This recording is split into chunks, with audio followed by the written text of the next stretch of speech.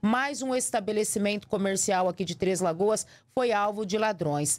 Desta vez, uma loja de motocicletas. Por sorte, gente, os ladrões não conseguiram aí levar os veículos. Vamos acompanhar a reportagem do Israel Espíndola.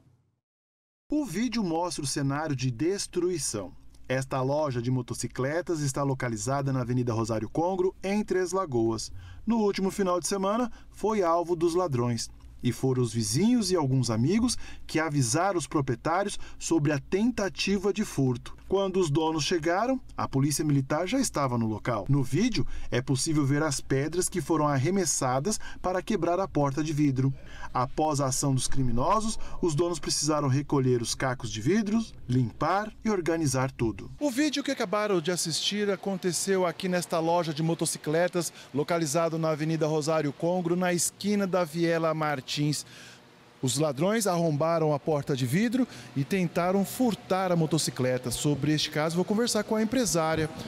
Carol, quando foi que aconteceu? Foi na noite de sábado para domingo. A gente recebeu notificação da SVM que tinham sido. É, que tinham, a loja estava é, sendo roubada e as pessoas estavam aqui fora, os vizinhos avisaram aos policiais e a gente chegou aqui e a polícia estava já aqui na frente.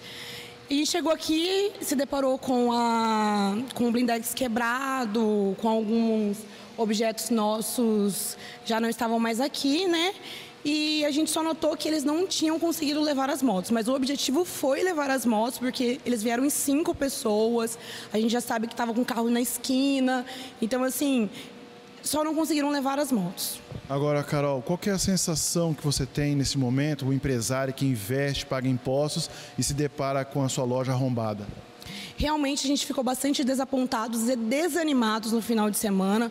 Uma porque a gente chegou aqui, viu todos aqueles vidros quebrados, eu comecei a chorar muito, vendo, principalmente porque eu e o Lucas, a gente é uma loja que veio de baixo, então é uma loja que sempre está assim, é, falando para as pessoas acreditarem em seus sonhos, no empreendedorismo. O nosso público-alvo de clientes, é, a gente chegou até falar que a gente chegou até a saber que os meliantes, os, autor, os, ator, os autores, é, eles falaram que era porque estava tirando de ricos para poder, poder pegar para eles. Só que o nosso público-alvo são clientes assim de categoria que as pessoas, as pessoas normalmente elas não conseguem ter nada na vida. Então, se observarem no nosso Instagram, eles entram aqui, eles se sentem acolhidos, eles conseguem realizar os sonhos da nossa moda, então, na nossa loja. Então, a gente realmente ficou desapontado até mesmo pelo público, sabe, por conhecer a nossa história, saber que a gente veio de baixo, mas assim acabar é, acontecendo isso justo com a gente.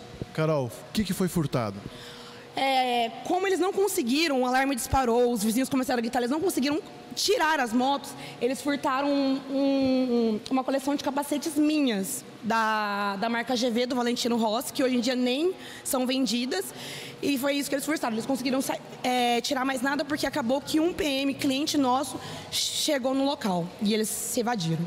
Obrigado pelas informações. Os ladrões também não conseguiram levar as motocicletas porque elas ficam presas através de cabo de aço.